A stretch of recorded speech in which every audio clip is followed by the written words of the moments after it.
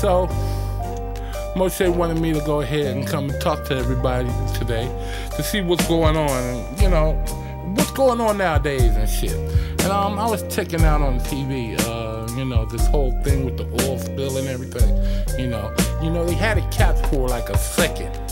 They had it capped for a second, you know, and, and all of a sudden it started leaking again and shit.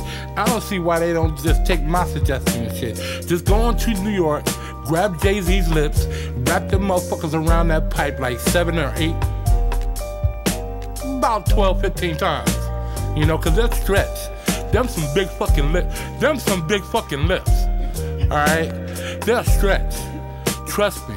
They have the stretch to go ahead, you know, go ahead and suck them Beyonce titties and shit, cause you know they huge too. But what I would do is, if the Jay-Z lips don't work, I would just take like the right ass cheek of Beyonce, just the right, cause you don't need the left. I mean, the right is just big enough. And just cork that bitch. I mean, just cork it, you know, like a wine bottle. Boop, you know. I mean, oil spill, cool. Taking care of and shit. That's what I would do. But, you know, if that didn't work, you know, I would go ahead and um, what else would I would do? Oh yeah, I saw on TV this one fool named Waka Flocka Flocka Baka Baka Baka Gon. I don't know, Waka some shit. And you know, if he walking around with his dreads and shit, I'll take them dreads and stuff him in that bitch. You know what I'm saying? I mean, they using hair right now anyway, right? I mean, he got this big old ass, you know, set of hair with this little skinny ass Snoop Dogg body and shit. You know, I'll just take him. He look like a giant, you know, Jamaican Q-tip.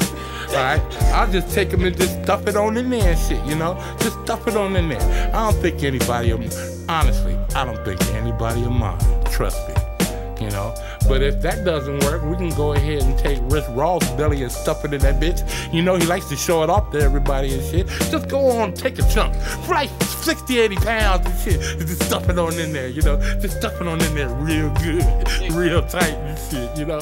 That'll stop that oil leak. I bet you. I bet you. I bet you money on that. We're gonna go ahead and take a break right now, see what's going on. Thank you for listening.